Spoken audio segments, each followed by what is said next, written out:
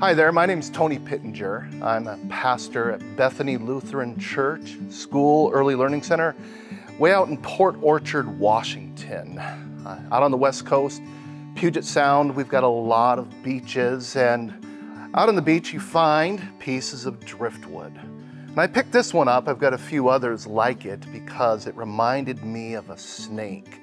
So I've been whittling at it, I've been uh, sanding it a little bit, but I, I, I want it to, uh, to keep looking like a snake. It's even got a little knot there for the eye, uh, which I thought was cool. But uh, I like I like my snake driftwood uh, for two reasons.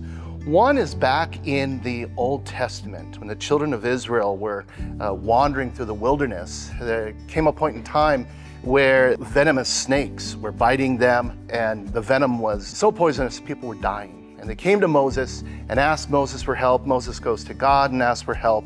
God told Moses to make a snake, not out of wood, but out of bronze or brass, and, and put it up on a pole where everybody could see it. And if people would just look at it, they would be cured. Well, if they looked at it and believed that this was how God would cure them. Now, there, there's no medicinal, there's no anti venom properties to uh, a wooden snake or a metal snake. But the people that believed that was God's way of, of dealing with that venom, they were healed, they were cured. Well, I said that there are two places uh, in the Bible uh, that uh, reason that I like my, uh, my snake, my driftwood snake. The second is in John chapter 3. Jesus is talking to a man named Nicodemus, and they're talking about heaven, how to get there, and so on. And Jesus refers back to the Old Testament, and he says, just as Moses lifted up the, the serpent in the wilderness, so also the Son of Man must be lifted up, that whoever believes in him will not perish, but have eternal life.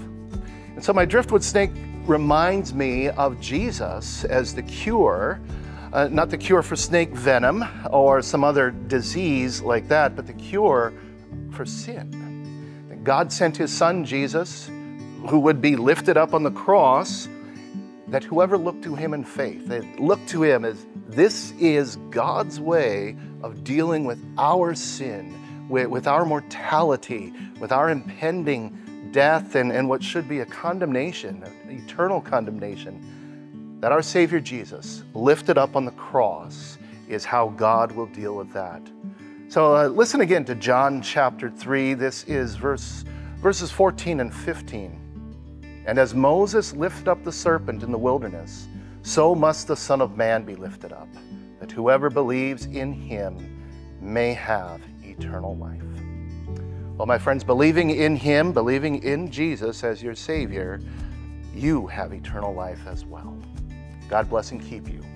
Amen. Today's devotion was provided by Pastor Tony Pittenger. You can support Peace Devotions through your prayers and donations. Visit peacedevotions.com/donate.